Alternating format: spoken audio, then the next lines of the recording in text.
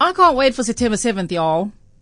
I want to see who else is going to be on this list. And let me tell you something. I really hope that the other political parties that are putting forward candidates are putting forward some really strong candidates. The city is not a big, not a small city. We're a major metropolis in S- South Africa on the continent.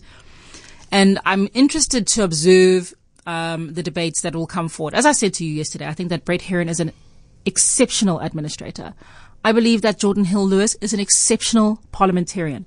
He will have to show me, uh, all of us, uh, how he will cut his teeth uh, as an administrator, which I don't think he has experience in the way that Brett does.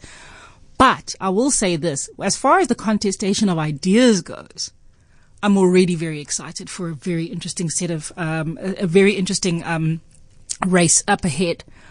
I hope that the DA, well, I think they don't have a choice. It's not like they're internal debates, so they'll allow him to debate. I hope to host a lot of debate. And I hope we don't have, you know, it's so great to see the country shifting away from, yeah, capitalist, yeah, you know, whatever the shouting that used to happen in parliament, um, uh, Zuma must go, capitalist, whatever. We're going to have a contestation of ideas and I am, it's going to be a thriving discussion that we're going to have for the coming months. I hope you will participate. I hope you'll hold us accountable. I hope you'll send in your questions. I hope they'll be tough because I can tell you Geordin Hill-Lewis and Brett Herron at the very least are able to take those.